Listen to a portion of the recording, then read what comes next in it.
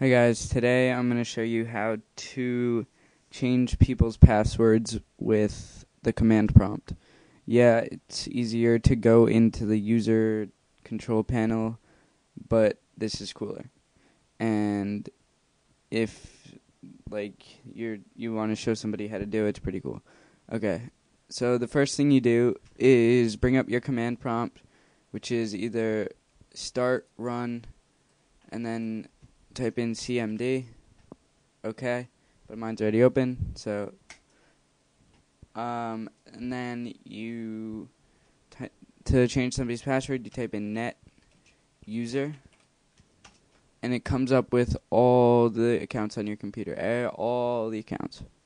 And then to change somebody's password, you type in net space user space the account name that you want to change. So you choose from that list that just came up.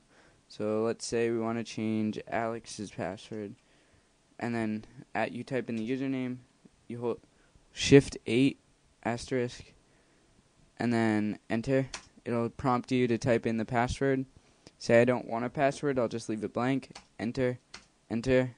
The command has been completed successfully.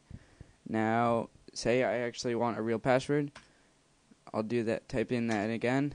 Now, when it asks me to type in a password, I'm actually typing, but it doesn't show up just for safety reasons. And once again, it worked.